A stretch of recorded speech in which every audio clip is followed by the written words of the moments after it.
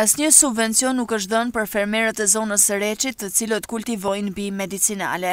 Rexhep Meta, kryetari i shoqatës së Reçit Prodhimtar, si dhe fermerë të zonës thonë se shkak për mospranimin në subvencione janë bërë mungesa e certifikatave të pronësisë, si dhe ato pak të cilat janë dhënë u bënë në mënyrë selektive, pohojnë kështu fermerët.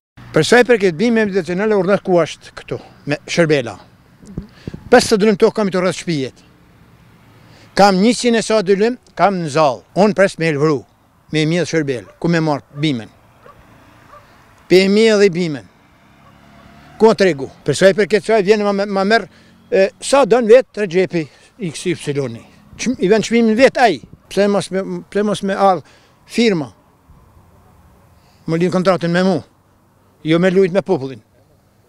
Një mijë e 200, 900, 500, 700, ça ka pazar. Ne jena si gogël në maje ujit. Nuk dim ka shkojmë.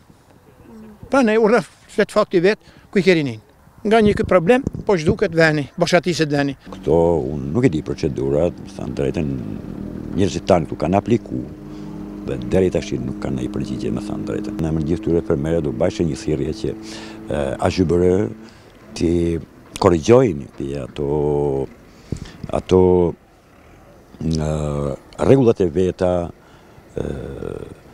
që t'i favorizojnë direkt prodhuesit më n'nevojë. Me kur them prodhuesit më n'nevojë, do të them ata që kanë sipërfaqe t'lira, Që vitin e parë ka kosto, sidomos ai njëherë, se është bimë shumëvjeçare, dhe ka një kosto. është kosto e lartë punimi i tokës, blerja e fidanit, shërbime tjera pastaj t'vitit parë, është një kosto që i shkon diku 300-400 mijë lekë t'vjetra për dylym. Shqipëria është eksportuesi më i madh në botë i sherbelës, edhe një nga kultivuesit kryesorë të bimëve të tjera mjekësore, përfshirë këtu lavandën, edhe një lloj luledielli të verdhë. Këto produkte përpunohen, eksportohen dhe përdoren si në mjekësi, në çajra, vajra esenciale dhe produkte kozmetike. Fermerët kërkojnë vëmendjen e institucioneve shtetërore për t'i mbështetur pasi vështirësia për kultivim dhe shitjen e bimëve medicinale është e madhe.